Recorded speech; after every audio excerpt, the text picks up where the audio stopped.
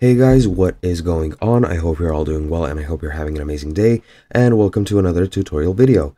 In this video, I'll be explaining to you guys uh, the process behind game sharing on Battle.net.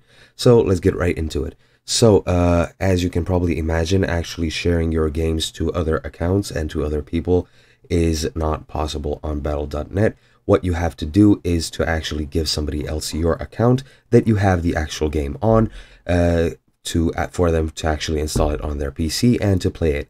Uh, keep in mind they will be playing through your account and th that is not a very secure way to do things since they can change things in your account and change things in your game which you might not like. So just be uh, careful about that.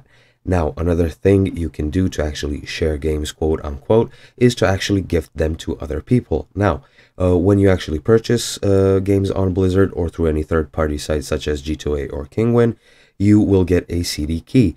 Now, that CD key can be redeemed by anybody who it is given to. So what you want to do is give that CD key to any of your friends and they can actually uh, enter it onto their account, redeem it, and then they will have that game in their uh, inventory, I guess you could say, or in their games list. And if they don't know how to do it, I'll explain it quickly right here. As you can see, I am on the website currently. I think the process is pretty much the same for the client as well. However, I only know how to do it through the website. Once you're at the website and once you're logged in, just go to your uh, cover over your account name, go to account settings. Once you do, you'll be taken to, uh, excuse me for just a second.